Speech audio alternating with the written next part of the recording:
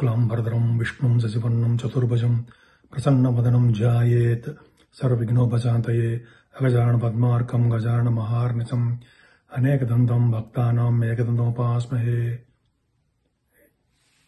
ఈరోజు మనం September first తారీఖు నుంచి ముప్పై ఒకటి తారీఖు వరకు కూడా పన్నెండు రాసుల వాళ్ళకి ఎలా ఉండబోతుందో ఇప్పుడు మనం తెలుసుకుందాం.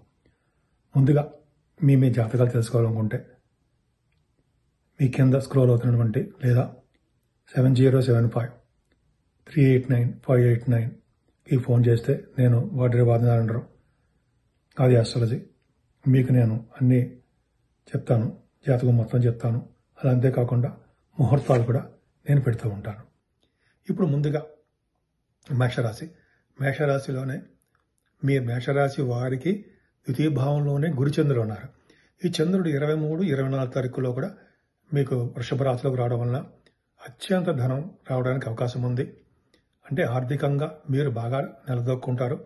రావలసిన బాకీలు కానీ రావలసిన సొమ్ములు కానీ మీ ఇంటికి రావడానికి అవకాశాలు ఎక్కువ ఉన్నాయి. ముఖ్యంగా గాయని గాయకులకి సంగీత ప్రియులకి మంచి అవకాశము. ధనంతో కూడినటువంటి అవకాశాలు ఎక్కువ ఉంటాయి. బహుశా మీరు విదేశాలు వెళ్ళడానికి కూడా అవకాశాలు ఉన్నాయి. పాటలు పాడే రీత్యా. అలాగే యాంకరింగ్ వృత్తిలో ఉన్న వాళ్ళకి డబ్బింగ్ ఆర్టిస్టులకి చాలా బాగు బాగుంటుంది. ఈ నెలలో గురుచంద్రులు ఉండడం వలన గజగేశ్వర యోగం ఏర్పడి చంద్రుడు కూడా వచ్చే స్థితిలో రోహిణి నక్షత్రం ఉండడం వలన మరింత యోగవంతంగా ఉండడానికే అవకాశాలు ఎక్కువ ఉన్నాయి మేషరాశి వాళ్ళకి అంతేకాదండి కుజుడు మీకు మూడో భావంలోకి వచ్చాడు మీ రాశాధిపతి. ఇక్కడ నలభై ఐదు రోజుల పాటు ఉంటాడు. అంటే ఇరవై ఏడు ఆగస్టు నుంచి ఇరవై తారీఖు అక్టోబర్ వరకు కూడా అంటే నలభై ఐదు రోజుల పాటు కుజుడు ఉంటాడు. కుజ స్తంభన అంటాం. అంత మంచిది కాదు. కానీ కుజుడితోటి ఈ నెల చంద్రుడు కూడా తోడవుతున్నాడు ఇరవై ఐదు ఇరవై ఆరు తారీఖుల్లో చంద్రుడు కూడా రావడం వల్ల చంద్రమంగళ యోగం ఏర్పడిపోయింది. చంద్రమంగళ ఏర్- చంద్రమంగళ యోగం వలన ముఖ్యంగా మీరు మంచి శుభవార్తలు వినడానికి అవకాశం ఉన్నాయి. మీ ఆలోచన ధోరణి పట్టుదల ఎక్కువగా ఉంటుంది. మీరు అనుకున్న పనులు అనుకున్నట్టుగా నెరవేర్చుకుంటూ ఉంటారు. మీ ఆలోచనల్ని కార్యరూపం దాలుస్తూ ఉంటారు. అది చాలా మంచిది. మీ తమ్ముళ్ళకి మీ చెల్లెళ్ళకి చాలా చాలా మంచిది. వాళ్ళ వలన మీకు మీ వలన- మీ వలన వాళ్ళకు కూడా సహాయ సహకారాలు అందుతూ ఉంటాయి.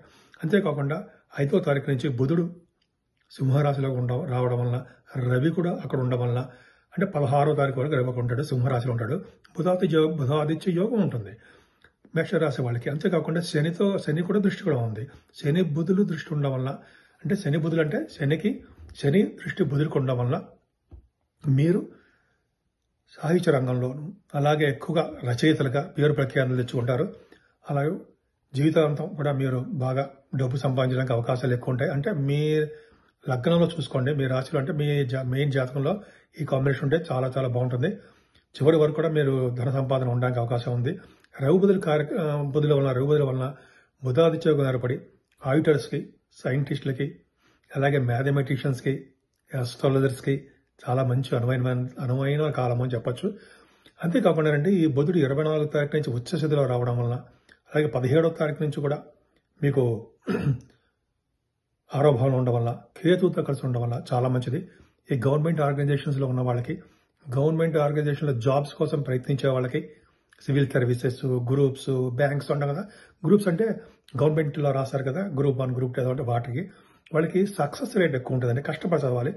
అంతేకాకుండా విదేశాలు వెళ్ళడానికి కూడా అవకాశాలు ఎక్కువ ఉన్నాయి శుక్రుడు పంతొమ్మిదో తారీఖు నుంచి మీకు చెప్ప పంతొమ్మిది సెప్టెంబర్ నుంచి తులారాశిలోకి వచ్చేస్తున్నాడు. వివాహ శుభకార్యాలు బాగా జరుగుతాయి. అంటే అవకాశాలు ఉంటాయి. అంతేకాకుండా ముఖ్యంగా సినిమా రంగంలో ఉన్న వాళ్ళకి టెలివిజన్ రంగంలో ఉన్న వాళ్ళకి చాలా చాలా మంచి కాలం అని చెప్పచ్చండి. అద్భుతమైన కాలం వాళ్ళకి. అంత విశేషంగా సంపదలు ఉంటాయి వాళ్ళకి. అవకాశాలు ఎక్కువ ఉంటాయి. ముఖ్యంగా స్టాక్ మార్కెట్లో ఉన్న వాళ్ళకి షేర్ మార్కెట్లో ఉన్న వాళ్ళకి చాలా అవకాశాలు ఉన్నాయి.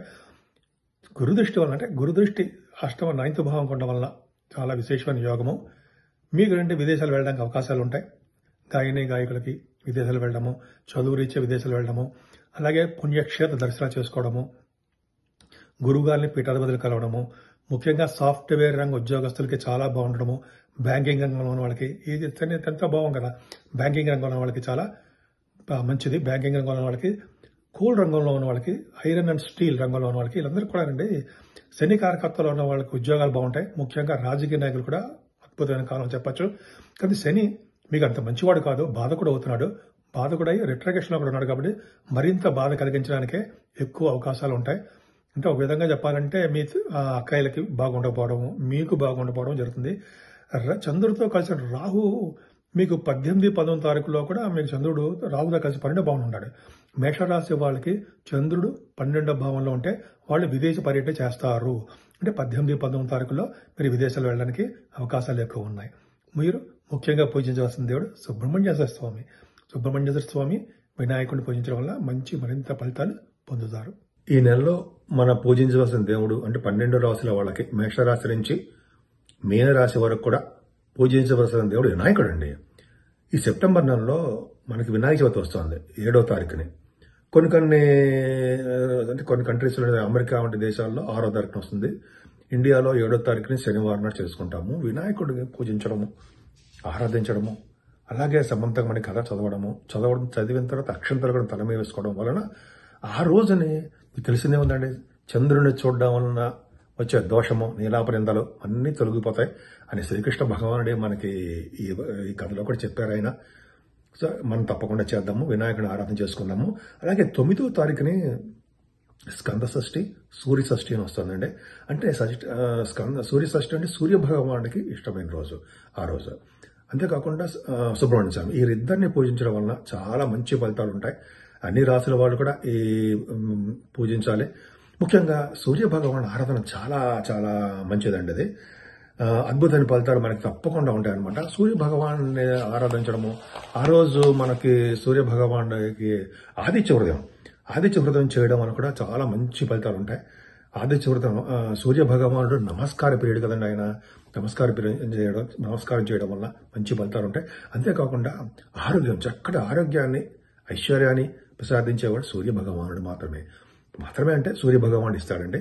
అంతేకాకుండా సుబ్రహ్మణ్య స్వామి ఆరాధన చేయడం వల్ల ఈ రోజు కూడా అంటే సుబ్రహ్మణ్య స్వామిని అలాగే సేమ్ సూర్య భగవాన్ ఆరాధన చేయడం వల్ల చాలా మంచిది. ముఖ్యంగా సుబ్రహ్మణ్య స్వామి ఆరాధన ఏంటంటే ఆయనని ఆరాధించడం వల్ల అంటే కళ్యాణం చేయించడం కానీ లేకపోతే సుబ్రహ్మణ్య స్వామికి పూజలు చేయించడం కానీ పుట్టలో పాలు పోయడం కానీ ఇవన్నీ ఉంటాయి కదా. అలా చేయడం వల్ల పెళ్ళి కాని వాళ్ళకి పెళ్ళి అవ్వడము సంతాన భాగ్యం కలగడము భార్యాభర్తల యొక్క అనురాగం పెరగడం మీకు తెలియదే ఉందండి. సుబ్రహ్మణ్య స్వామి ఆరాధన చేసి ఎంతో అద్భుతమైన ఫలితాలు ఉంటాయి ఉంటాయని ఒకే రోజు రావడం సూర్య భగవానుడిది. అలాగే మన సుబ్రహ్మణ్య స్వామి షష్ఠి రావడం చాలా అద్భుతం అండి. ఈ రోజు వీలుంటే ఉపవాసం ఉండండి. ఉపవాసం అంటే అంటే పొద్దున టిఫిన్ చేయొచ్చు భోజనం చేయొచ్చు. రాత్రికి మాత్రం భోజనం చేయకుండా పిండి పులిహారం ఏదో చేసి తింటే చాలా ఫలితాలు మంచి ఫలితాలు వస్తాయి. వినాయకుడి ఆరాధన చాలా అద్భుతమైన ఫలితాలు ఉంటాయి. సూర్య షష్ఠి స్కంద షష్ఠి అద్భుతమైన ఫలితాలు. అలాగే ఈ నెల పద్దెనిమిదో తారీఖున అండి మహాలయ పక్షాలు వస్తున్నాయి. మహాలయ పక్షాలు చాలా పవర్ఫుల్ కదా. అంటే పితృదేవతలని మనకి చాలా సంతృప్తి పరిచే రోజు అనమాట మనం కాదండి మనం అంటే అందరూ కాదండి. తల్లిదండ్రులు లేని వాళ్ళు చేస్తారు ఇదంతా కూడా.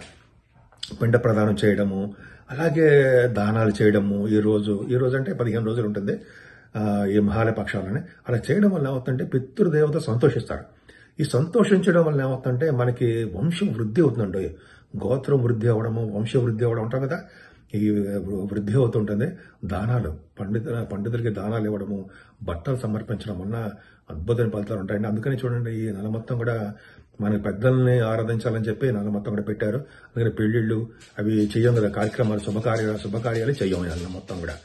కాబట్టి మనం ఈ మహాలయ పక్షాల్లో పితృదేవతలను పూజించి తర్పణాలు దానాలు పిండ ప్రదానాలు ఉంటాయి కదా. తల్లిదండ్రులు లేని వాళ్ళు సుమా నేను చెప్పేది ఎవరో ఒకరు ఉన్న వాళ్ళకి చేస్తే మంచిది. ముఖ్యంగా మరీ ముఖ్యంగా అంటే వినాయకుడిని సుబ్రహ్మణ్య స్వామిని సూర్య భగవాన్ని ఆరాధన చేయడం వల్ల ఈ పన్నెండు రాసే వాళ్ళకి ఎవరైతే ఎవరైనా చేయించండి. చేయడం వల్ల అద్భుతం ఫలితాలు మంచి ఫలితాలు శుభ ఫలితాలు వస్తాయి. చక్కటి ఆరోగ్యవంతంగాను ఐశ్వర్యవంతంగాను ఎటువంటి కోర్టు కేసులు కానీ ఎటువంటి ఎటువంటి ప్రాబ్లమ్స్ లేకుండా మనశ్శాంతిగా ఆనందోత్సవాలతో ఆనందంగా ఉండేట్టుగా మీరు ఉంటారని ఉండాలని ఆ సూర్య భగవాన్ని నేను మనస్ఫూర్తిగా కోరుకుంటున్నాను.